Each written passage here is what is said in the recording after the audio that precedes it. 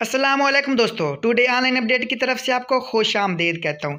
दोस्तों combined military अस्पताल CMH में सिविलियन की नौकरियाँ आई हैं। मेरे पास दो एडवर्टाइजमेंट हैं। पूरे पाकिस्तान से अफराद अप्लाई कर सकते हैं। कौन कौन सी वैकेंसीज़ हैं और कौन कौन से सिटीज़ में ये वैकेंसीज अनाउंस की गई है? कौन से सी में ये वैकेंसीज खाली हैं? तो मुकम्मल इन्फॉर्मेशन आपको दूँगा। वीडियो को आपने आखिर तक देखना है। बिल्कुल स्किप नहीं करना। अगर आप C M H combined military hospital में नौकरी हासिल करना चाहते हैं। चैनल पर नए हैं तो चैनल को जल्दी से सब्सक्राइब करने के साथ साथ बेलकन भी लाजमी दबा दें ताकि जब भी मैं जॉब्स के मतलब वीडियो अपलोड करूँ तो आप तक जो इसका नोटिफिकेशन हो जल्दी से पहुँच जाए, क्योंकि चैनल पर मैं ऐसी जॉब्स मतलब वीडियो लाता रहता हूँ। चलो फ्रेंड्स वीडियो स्टार्ट करते हैं। तो दोस्तों, सबसे पहले मेरे पास जो एडवर्टाइजमेंट है कम्बाइंड मिलिट्री अस्पताल खारियाँ की तरफ़ से अनाउंस किया गया कम्बाइंड मिलिट्री अस्पताल खारियाँ अकेडमी मुतजैल खालियाँ सामियों पर मुस्तकिल बुनियादों पर तैनाती के लिए दरखास्तें मतलूब हैं। सबसे पहले जो वैकेंसी दी गई है, वो मेडिकल असिस्टेंट फीमेल की है। जो ये लड़कियों के लिए वैकेंसी दी गई है। पे स्केल जो है, वो सेवन रखा गया है और सामियों की तादाद जो है, एक है। मैट्रिक शायद साहब की होनी चाहिए। बमा छः माह का मेडिकल डिप्लोमा या एक साल का मुतल शुरू में तजर्बा होना चाहिए। उसके बाद चौकीदार की वैकेंसी है जिसके बेसिक पे स्केल एक है प्राइमरी क्वालिफिकेशन होना चाहिए। उसके बाद सेंट्री वर्कर्स की वैकेंसी रखी गई है जिसके लिए जो है प्राइमरी क्वालिफिकेशन रखी गई है।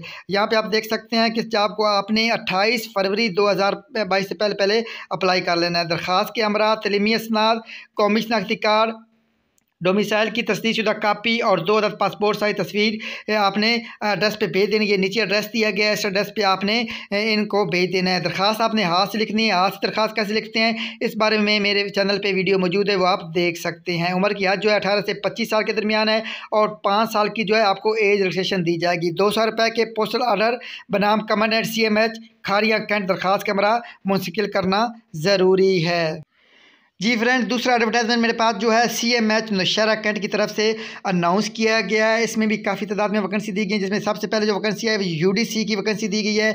बेसिक पे से के अलेवन है और आपकी जो तलीमी कबलीत है, वो इंटरमीडिएट टैपिंग स्पीड थर्टी अल्फाज फ़ी मिनट होनी चाहिए।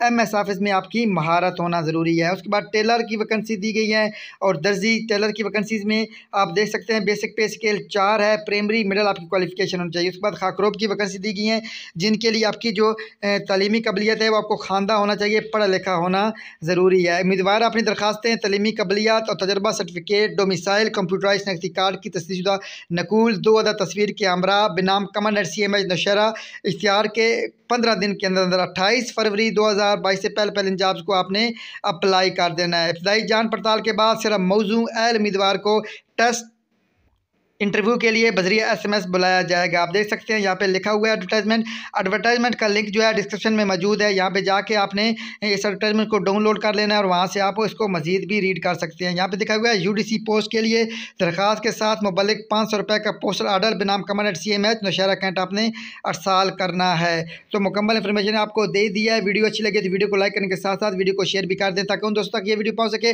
जो कि पाकिस्तान आर्मी के अस्पताल में नौकरी हासिल करना चाहते हैं। चैनल को सब्सक्राइब करना ना भूलिएगा। नेक्स्ट वीडियो तक आप लोग चाहते हैं अल्लाह हाफिज़।